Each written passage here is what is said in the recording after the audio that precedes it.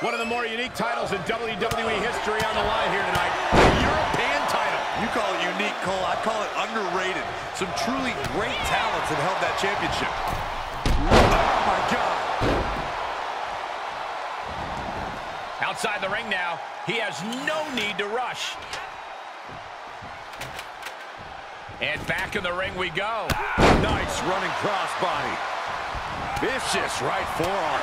Vicious, downright savage club right there. Placed into the corner. Up on the turnbuckle now. This superstar is looking to end his opponent right now. This'll do it. Avalanche German suplex. A move from that height could rearrange your bones. He has an answer for Rhodes.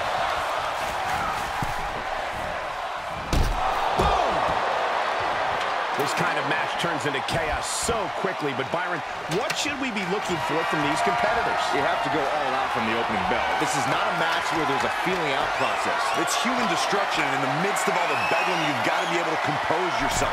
Your emotions can't overtake the need to win the match. Cole, I will be shocked if this doesn't end in a crash back down to the mat. Me too!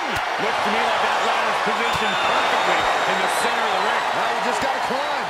Clearly not afraid to take the fight up high. Go ahead, Ray, add him up there. You got to. From the top of the ladder with a punch.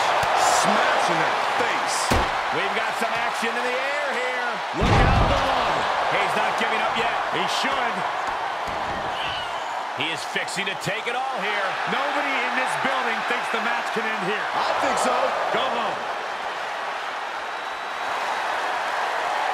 Into the ring